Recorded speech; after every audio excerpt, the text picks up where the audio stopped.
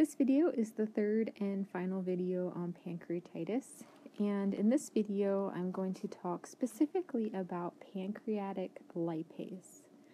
Pancreatic lipase is lipase that originates from the pancreas. So in theory, it should not arise from the liver or the GI tract.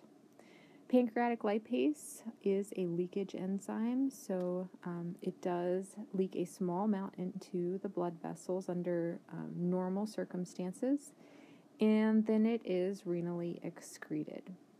Now, we have two methods for measuring pancreatic lipase. The first one is called SNAP CPL for dogs or SNAP FPL for cats.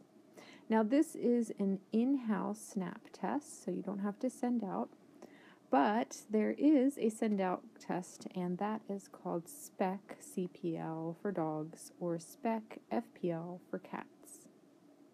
So, now starting out with the, the SNAP test, of course, the the big pro for this test is that it is, is an in house test, so you can get the results within minutes.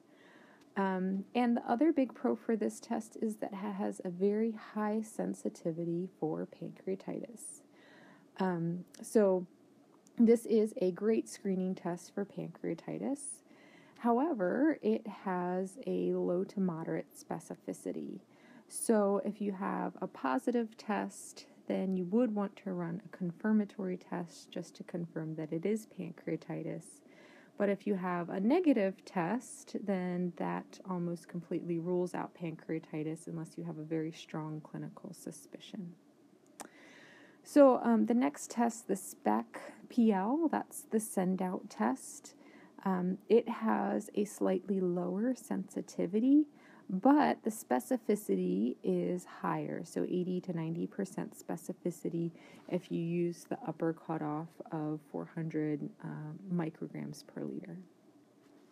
Um, so, there can be false positives with either, either of these tests.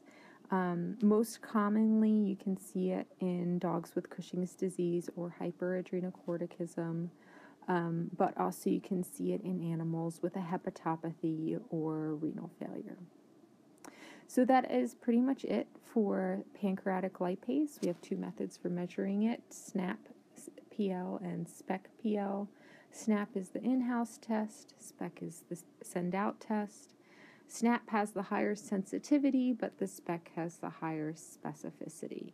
And of course, you always want to be aware of false positives, which can occur specifically in dogs with hyperadrenocorticism, hepatopathy, or renal failure.